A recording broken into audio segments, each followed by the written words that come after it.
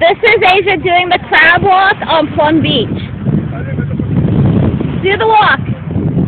I'm going to do like this.